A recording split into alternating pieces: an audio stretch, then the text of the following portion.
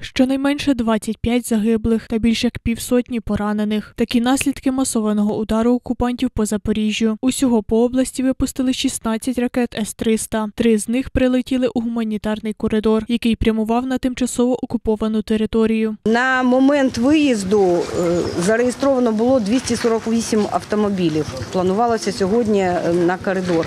І в цей момент, в момент вибуху, знаходилось близько 100 осіб на цій території. Серед поранених п'ятирічна дівчинка, який осколок потрапив у живіт. Зараз лікарі борються за її життя. Трирічна дитина дивом вижила, проте росіяни залишили її сиротою. 62 особи наразі доставлено до медичних закладів міста.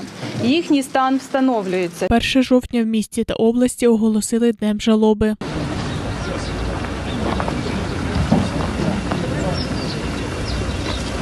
Миколаївщину вночі тероризували п'ятьма дронами камікадзе. Три з них вдалося збити. Один влучив в адмінбудівлю, інший в об'єкт критичної інфраструктури. Натомість сам обласний центр росіяни атакували ракетами С-300. Дві поцілили в десятиповерховий будинок. Поранення отримало восьмеро людей. Одну жінку довелося діставати з під завалів. На щастя, вона вціліла. Красная, потом желтая по команде.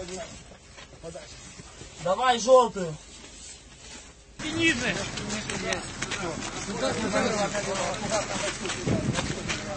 Одна людина загинула внаслідок масованого обстрілу Дніпра. Іскандерами росіяни знищили транспортне підприємство. Під час пожежі там повністю згоріли 52 автобуси, ще 98 пошкоджені. У Дніпрі внаслідок влучання ракети загинув чоловік 60 років. Е, Троє людей ушпиталили. Вони у стані середньої тяжкості. Ще двоє за- залишаються на лікуванні вдома. Та без транспорту місто мільйонник не залишиться. Мер Києва Віталій Кличко повідомив, передадуть Дніпру 30 автобусів. Катерина Шевчук, новини 33 канал.